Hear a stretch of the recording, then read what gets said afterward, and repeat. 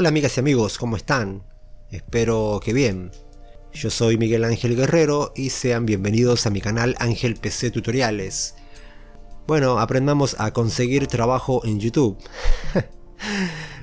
no sé si será tan así, pero de todos modos quise hacer este video. Aquí les voy a mostrar un ejemplo.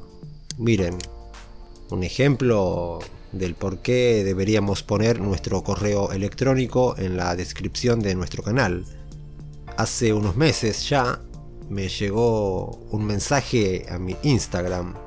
Aquí pueden leer Hemos visto tus videos enseñando lo que mejor sabes hacer, ahorra tiempo y esfuerzos compartiendo el contenido previamente creado, posicionándolo como exclusivo en la comunidad, a la vez que promocionamos tu labor como creador, perfil, página web, redes sociales, etc.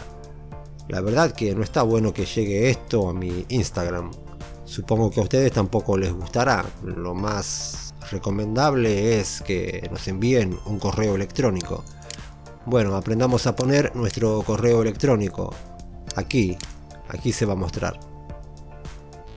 Estamos en YouTube, hacemos clic en nuestra foto de perfil y entramos en YouTube Studio. Mientras se carga la página, quiero pedirles que se suscriban a mi canal y activen la campanita.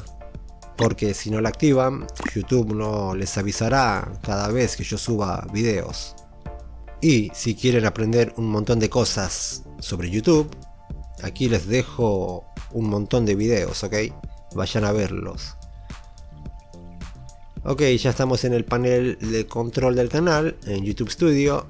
En el menú de la izquierda Aquí bajamos hasta llegar a personalización. Entramos ahí.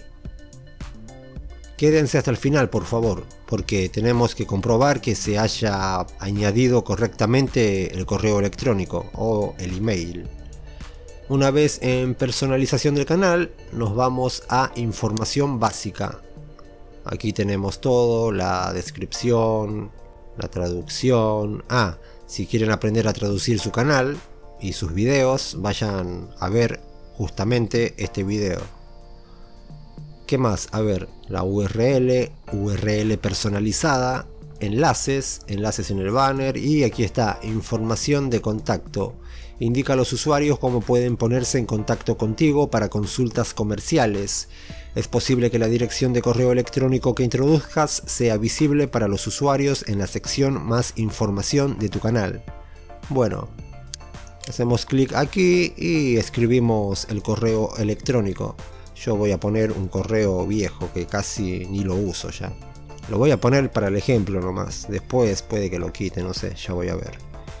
Escribimos la dirección de correo electrónico y hacemos clic en publicar. Sí o sí hay que hacer clic ahí. Cambios publicados. Ir al canal. A ver vamos al canal para comprobar. Recuerden que se va a mostrar en la pestaña más información. Bajamos un poco y aquí está miren para consultas comerciales ver dirección de correo electrónico, la gente va a hacer clic ahí y les va a aparecer esto. No olviden suscribirse. Chao.